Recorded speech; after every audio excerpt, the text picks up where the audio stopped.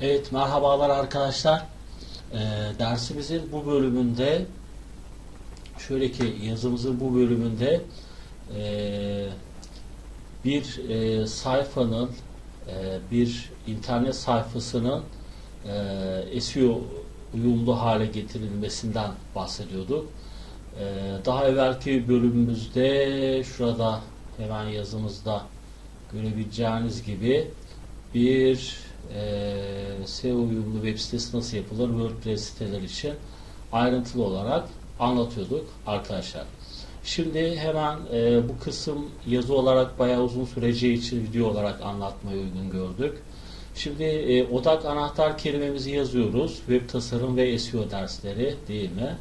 E, çünkü bu zaten e, bir saniye hemen şuradan ilk önce bir güncelle diyelim.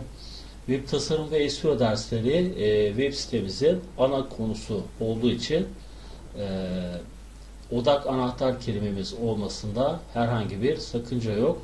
E, burada direkt web tasarım ve SEO demiyorum. Çünkü web tasarım ve SEO dersem daha e, şey e, daha iddialı bir anahtar kelime oluyor ki e, tamamen web tasarım ve SEO ile ilgili değil. Web tasarım ve SEO dersleri ana sayfamın konusu. Şimdi geliyorum sayfamıza arkadaşlar. Evet bakalım. Evet kaydıralım aşağıya sayfamız, sayfamız.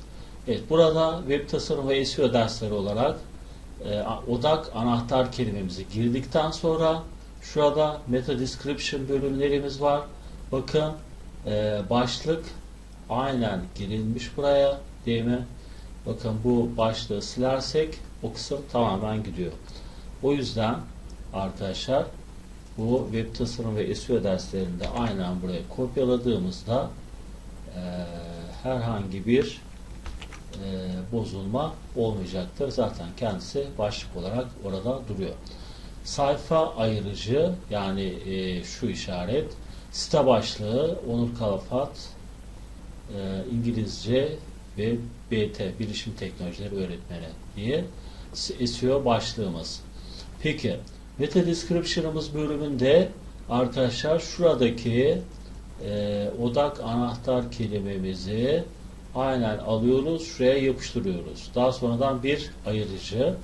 Daha sonradan açıklıyorum işte sayfam ne olacak? Kısaca öz olarak web tasarım ve SEO derslerini bulabileceğiniz internet sitemde e, sizlere sizler için zamanla yeni kurslar açmayı hedeflemekteyim.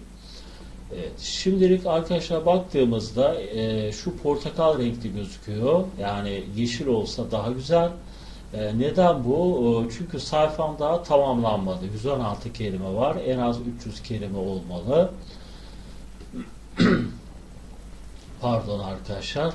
E, keywords in subheadings. Evet. Alt başlıklarda anahtar kelime kullanımı gibi e, şeylere de dikkat edeceğiz. Evet arkadaşlar e, e, yazımızın diğer bölümünde başka videolarda çekebilirim.